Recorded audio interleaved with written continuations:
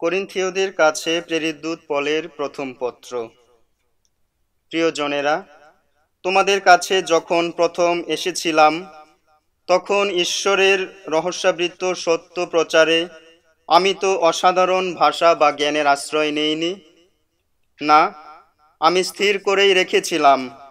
তোমাদের মধ্যে থাকার সময় আমি একমাত্র যীশুখ্রিস্টের কথা, ক্রুশবিদ্ধ যীশুখ্রিস্টের কথা ছাড়া আর অন্য কোনো কিছুই মনে রাখব না।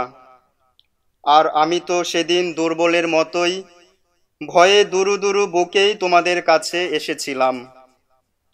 আমি তখন যেসব কথা বলেছিলাম, যে বাণী প্রচার করেছিলাম, তা মানবীয় জ্ঞানের চিত্তগ্রাহী ভাষাকে আশ্রয় করেনি, বরং তাতে পবিত্র আত্মার শক্তি স্পষ্ট প্রমাণিত হয়েছিল। আমি চেয়েছিলাম তোমাদের বিশ্বাস মানবীয় জ্ঞানের ভিত্তিতে নয় বরং ঐশ্ব শক্তির ভিত্তিতেই গড়ে উঠুক।